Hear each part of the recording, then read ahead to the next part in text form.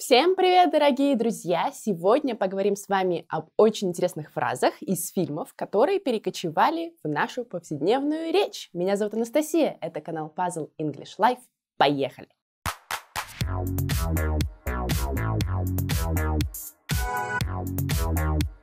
Итак, начнем мы с вами с фильма, который называется Gaslight. Переводится он как «газовое свечение» или «газовый свет» в разных источниках по-разному. Фильм основан на пьесе Патрика Гамильтона. Это британский драматург. Я вам, кстати, очень советую прочитать эту пьесу, очень интересная. А, и если хотите, посмотрите фильм, но фильм достаточно старый, он 44 -го года. И какую же фразу мы отсюда возьмем? На самом деле фраза даже не звучит в этом фильме, фраза произошла из самого названия фильма – «Gaslight». Gaslight э, обозначает э, психологическое давление над человеком, да, когда вы психологически кого-то задавливаете. Это может быть и с мужской стороны, и с женской стороны. И вообще даже на самом деле, мне кажется, во многих источниках, именно русских, я встречала этот термин газлайтинг. Вот. И это слово мы можем использовать в качестве глагола. Тогда нам нужно написать эти два слова вместе. Gaslight, например, she had no memory of the incident and thought he was trying to gaslight her.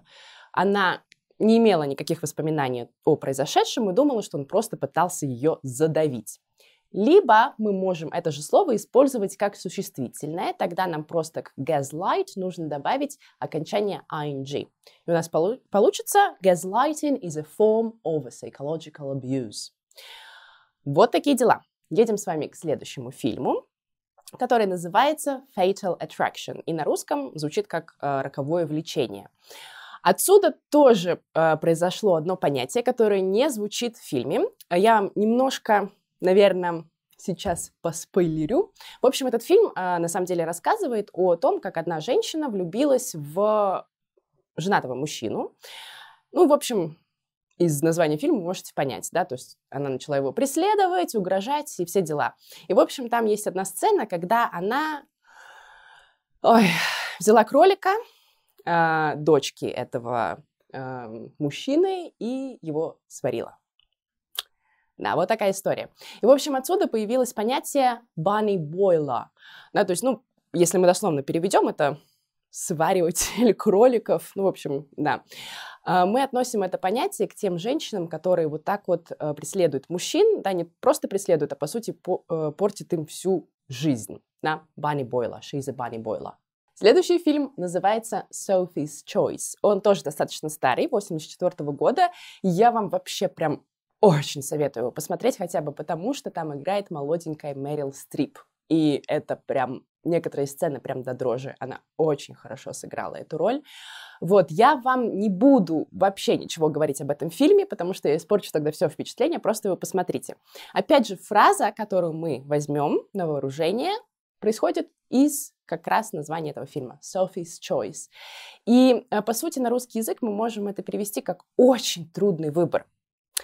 А, то есть это когда у вас есть два или три выбора, и ни один из них не улучшит вашу жизнь. Никак не решит ваши проблемы. Вот что значит эта фраза. Следующий фильм у нас будет Gone with the Wind. Унесенный ветром.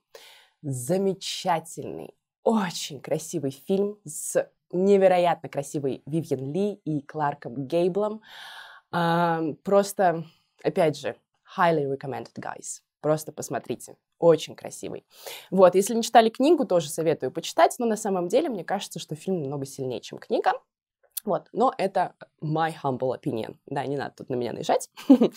вот, отсюда мы возьмем тоже фразу, она на самом деле моя лично самая любимая из именно книги. Она встречается и в книге, и в фильме. Звучит она следующим образом. After all, tomorrow is another day.